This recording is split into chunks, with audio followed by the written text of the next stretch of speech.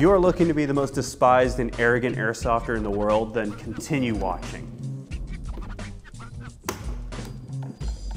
If you have no time for anyone on food stamps, if you like going to car shows and talking loud enough so everyone can hear it so you can subtly start fights, then just keep watching. You're gonna love this. I know how scrawny speedsofters who date Milsimmer's daughters act. And I know how the easily enraged server admins known as Milsimmers react whenever they get beat at pretty much anything regarding airsoft. Get him out of the way! Reset! Go, go, go! This is stupid. This is a game filled with all sorts of lovable psychopaths and genuine airsofters who just want to have fun, who may or may not want to star in a future viral fight video. Does anyone remember this Stone Cold Steve Austin looking dude? And after all the comments, requests, and weird messages from people from high school that think I became a millionaire after high school, which I'm just going to allow them to believe because it really pisses them off. This is the five types of rich airsofters. I'm going to get by somebody I used to go to school with for sure one day. Being wealthy comes with a bunch of perks. You can retroactively turn off pretty privilege and go from harassing women in public that you never would have had a chance with to being the only correct choice for her. Or at least that's what those gold digger videos taught me. You can also ignore all criticisms from people who tell you that you have a shit attitude or who are telling you that you're breaking the rules at any event. You don't need to let the poor people govern your actions. It's like owning a truck in the United States. The bigger your truck is, the more reckless you're allowed to drive with it. I mean, what's the worst that's gonna happen to you? By the way, I heard that in the UK, people will deflate your tires if you drive an American SUV or truck. Now try some of that somewhere like in Bama. I break my foot off in your ass until your pelvis shot out of your fucking mouth. One of you liberal Europeans did that to my Ford Super Duty. There is an entire family in the parking lot doing aerobics. Oh great, Scott's gonna be a dickhead to another group of people. That's exactly what the airsoft community needs. Look, I grew up poor, and then I got poorer and poorer until my super Mexican of a mom somehow pulled me out of it. I got a hostile Mexican woman. Please inform Greg Abbott. so if I want to dump on all of you guys, I don't care. I'm going to do it regardless. Fuck you. Okay, so first off, we really need to go... Sorry, can I help you? Hey, sorry to bother you, but I need you to go, man. I'm... I'm sorry. I'm just kind of filming something here for a YouTube video. I'm just putting on. I'm almost yeah, done. I out. get that, and I'm so sorry, but I need you to go. I've seen other people filming. I mean, we have skateboarders over here. Yeah, I get that, but unfortunately, I can't have you here, man. Like, I'm not trying to be a dickhead or something like that, but like, I've seen other people film here. Like, I've seen like trainers come here and film for like their TikToks and stuff. So, what's the? I get that, but the property manager just doesn't want you here. Specifically, me or something? Yes. I guess I just myself. All yeah, right. You go do that, just not here. Whatever. Now, because I fully deserve more followers than whatever the hell Instagram tells me my follower count is, you should be following me on Instagram. Instagram is straight up telling airsoft content creators that they're not showing our stuff to anyone, so any kind of support on Instagram would be appreciated. Again, I deserve it anyway, so go make this thing pop off. Look, it's either you follow me on Instagram or I'm posting your sister's phone number on 4chan. If we break 50,000 followers, then I'll personally help fund the first annual Homeless Speedsoft tournament with a crackhead 1v1 halftime show. First place winner takes home a case of Demi Lovato Signature Series Babies. Video starts at 4点30分. Alright, number five. The guy who HPA converts everything right out of the box. A heavily sedated chimpanzee would be more useful at teaching me how to play chess than a new VFC gearbox to this player. How does a Welshun gearbox with a programmable trigger unit shooting 18, uh, 25 rounds a second at 380 feet per second with a stellar air seal sound to you? These wasteful players with their perceived higher intellect cannot be bothered by the intricate art of AEG teching just like how they couldn't be bothered to keep their unwanted opinions to themselves over how manufacturers should produce their products whenever any new airsoft gun is shown off on social media. Whenever I see this kind of behavior, it just screams, well, if I was in charge, I'd make the best airsoft gun ever. Someone please rub my cock and comment on how intelligent I am. Only two subtypes of this player exist The high rollers who would gladly desecrate even the rarest and most sought after guns by jamming an HPA engine into it. And then there's the even more careless type, who would HPA convert a UK arms gun that was found at a gas station in the middle of the Texas countryside, where illegal gambling machines are in plain view. Not because these players can't afford to trash the gearbox of a $450 VFC, but because they care so little about anything else. I had more value in the purchases that I was making at age 9 than this player. And I'll have you know that I locked myself in my parents' rebadged Eclipse at age 9. I think that would have been probably one of the dumbest ways to die, but quite fitting for me. Number 4. The NVG tryhard slash crusty ass no life. You know those crybaby wannabe political activists? The ones that try to convince you that the world would be such a better place if they just emptied Elon Musk's bank account? Yeah, these are the kind of people that actually deserve that fate. So this is how you enjoy $10,000, huh?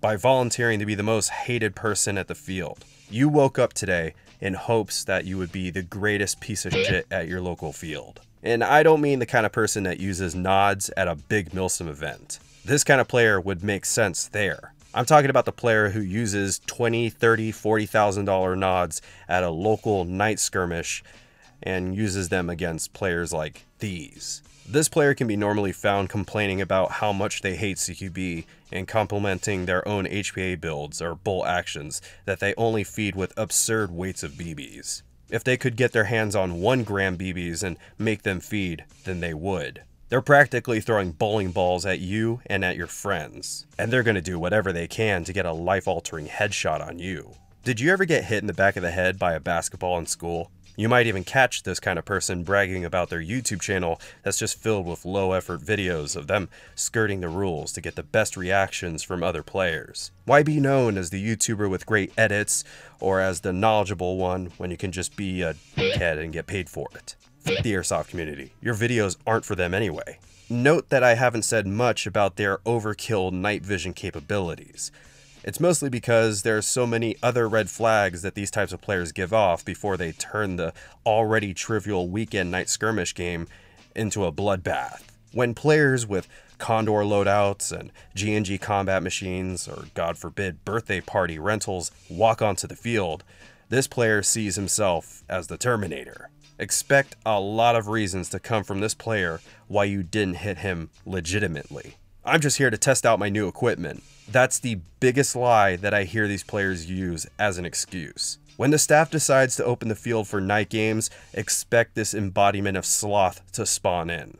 It's just a nighttime skirmish. This isn't Milsim fucking West. This is Billy's airsoft bunker. Partner the weekend skirmish NVG tryhard with a pyro spammer, and you've got a recipe for something as destructive as a California street takeover. And if you have to go against a whole squad of these types of players, then just call the ref out on his bullshit. He's either blind or setting you up for failure. That is when I pack my stuff up and leave. There's nothing I can do to not hand a weekend skirmish NVG guy a bot lobby, as long as I'm not willing to sell my car to get onto his level. What the? Be a hero tonight. Shoot any NVG player that you ever see right in the lenses.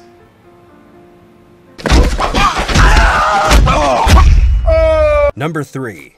It shouldn't even be necessary to say this, but I'm mainly just having a laugh with this video. If you haven't figured out that this is satire, or you're trying to ignore that this is satire and take it up the ass, then I don't know what to tell you. But I have a couple well-off friends that play airsoft from time to time. They're both owners of car dealerships. Yeah, go figure. So you know their kids are well adjusted.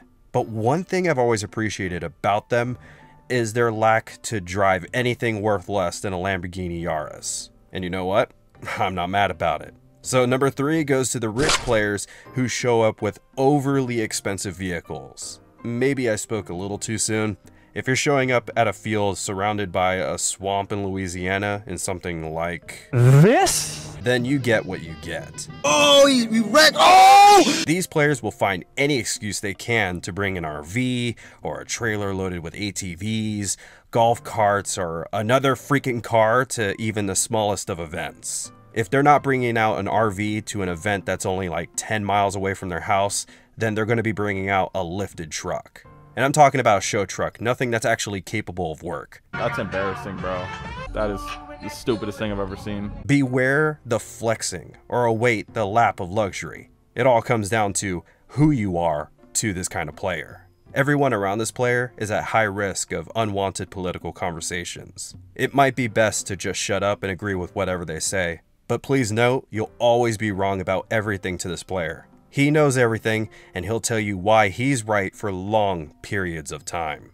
Number two, the Walking Armory. Now, this guy actually needs an award. This guy is using wealth for the real betterment of humanity. Billionaires would never get the hate they do if they followed this airsoft player's character arc. I've seen this kind of player bring out dozens of extra guns with attachments on each one, everything in tip top shape. No screeching motors, no leaky magazines, everything from the cheap but reliable to the expensive and eye catching. If you need to borrow anything, Captain Activision bank account over here has it. He's got replicas for you, your boys, your girlfriend, and her actual boyfriend who lets you watch sometimes.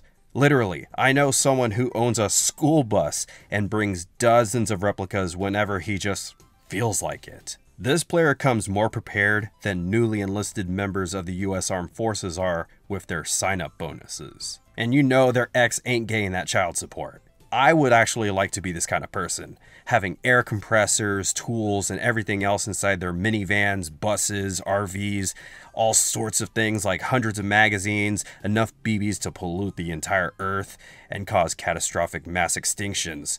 So that's my vote for the coolest type of airsofter. You know, the one that I want to be. All right, number one.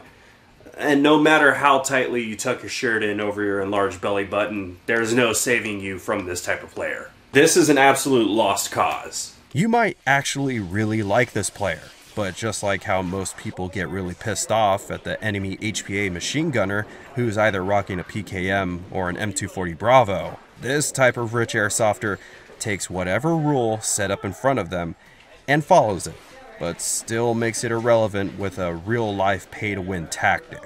Number one goes to the no skill player who throws dozens of pyrotechnics at even the smallest problem until it's either solved with tinnitus or severely burned buildings. Playing with this absolute lack of class is only topped by your level of distasteful business practices and out of court sexual harassment case settlements that most definitely helped you achieve the success that you feel the need to show off by tossing hundreds of dollars in airsoft grenades. Whenever TAGinn grenades become hard to get in the United States, you laugh. If you find yourself in any CQB situation at any MILSIM event, then it calls for some TAGinn grenades. Shattering eardrums and yelling back and forth is your forte.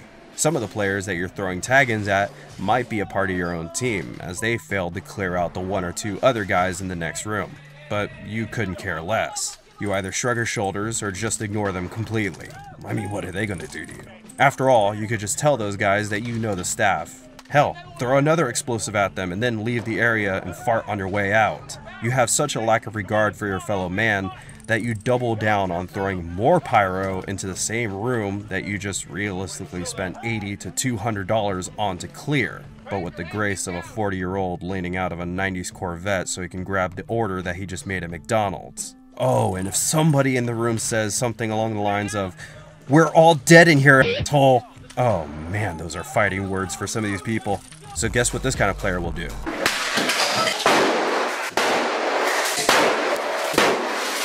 Welcome is basically your motto anyway. In fact, you probably just woke up this day with the same go fuck yourself energy the Europeans hate so much about Americans. But we actually landed on the moon, so who the fuck cares what they think?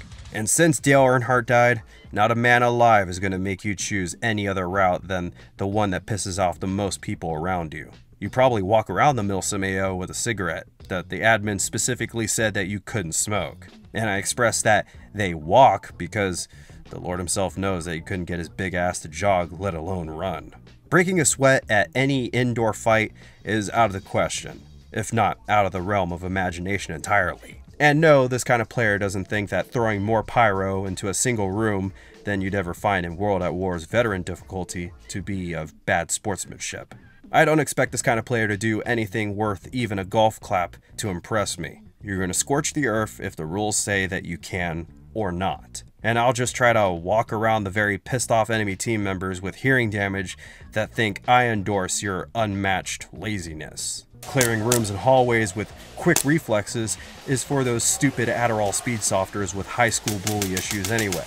You're a fucking man! You have a political podcast to listen to in your spotless dually with your windows down and the volume up in hopes that someone will look at you with a disapproving look on their face. You don't have time for anyone or anything. So until you can get away with riding a rascal at an American Milsim event, then this is the best route of airsoft LARPing for you.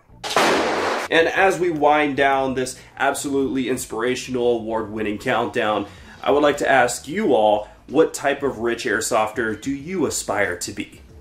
Or dread to be? There's a lot of them out there, and by the sound of some tryhards in the real firearms community, we're buying up all the good gear just to play tag with multi thousand dollar BB guns. You're damn right. Imagine being as jacked as like Big Scott of Kentucky Ballistics, and yet some 140 pound airsofters with way too much money in their pockets are actually buying up all the gear that you want and using it more than you. Anyway, be sure to follow me on Instagram before they completely ban me there. They've been trying for a while. And be sure to like this video. Shut up. But be sure to like this video. One like equals one entry into the Ferrari F40 giveaway that we're doing, thanks to the Petersen Automotive Museum. Now we're not doing any kind of giveaway. Fuck you people. But I guess until the next video drops from the city of San Antonio, this has been Scott Hallenbeck, and I will be sure to see you all next time. God, leave me alone. I'm trying to do my, my, my airsoft award stuff. Leave, Yo, leave- Airsoft Award. Y'all wanted alone. a sneak peek? Why didn't you include us? That's not me. You don't have enough people nominating you. How about that? Gang gang shit. There's gonna be some really pissed off random field out of Nebraska that's gonna be like, bro, I'm pretty disappointed in you as a community leader, not including our fing 10 member field. I get that shit all the fucking time for my event, my event that I post. Hey, you didn't include us. How about fuck you? Trying to shame me into including you. Uh, right off the bat, you have the audacity to be a dickhead to me immediately, and I'm Yeah, supposed to be out of with here, that? yo. I hate, I hate y'all. I hate y'all entirely. You mother! You are pissing me off!